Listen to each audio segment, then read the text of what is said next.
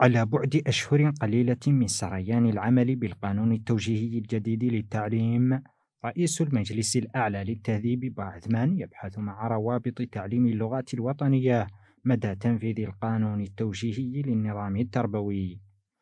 بعثمان قال إن المجلس اتخذ التشاور سنة مع الشركاء والفاعلين في الميدان التربوي معتبرا القانون التوجيهي محل التشاور ثمرة لما سماها العناية الخاصة والرؤية المستنيرة للرئيس محمد ولي الشيخ الغزواني من أجل النهوض بالمنظومة التربوية الوطنية.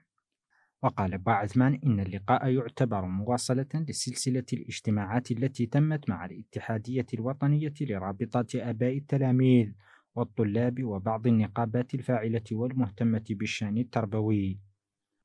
ويحدد القانون التوجيهي الجديد في موريتانيا. الصادر العام الماضي أهداف وتطلعات مستقبل التعليم في البلاد حيث يتناول نظام الدراسة وتسلسل مراحلها والخريطة المدرسية والمناهج والسياسة اللغوية وعمال التعليم والحكامة وتسيير النظام. وأقر هذا القانون في عهد الوزير السابق للتهذيب الوطني محمد ماء العينين وليه وقد تعاقب على القطاع بعده. ثلاث وزراء هم أدم بوكار سوكو الذي لم يقضي على رأس القطاع سوى أيام ليستقيل. وتتداول أوساط تعليمية وصحفية أن دافعه للاستقالة هو الاعتراض على البدء في تطبيق فحوى القانون مع الافتتاح الدراسي. تلاه الوزير إبراهيم فال والمحمد لمين الذي تولى المنصب لسنة دراسية لم تكتمل في عاده. حيث ما تزال بعض نتائج السنة الدراسية لم تخرج وبعض امتحاناتها لم تنظم والحديث هنا عن الدورة التكميلية للبكالوريا.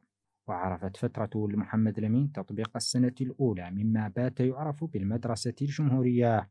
ثالث الوزراء هو المختار ولداه الذي تسلم المنصب الثلاثاء الماضي بعد ساعات من تعيينه على القطاع.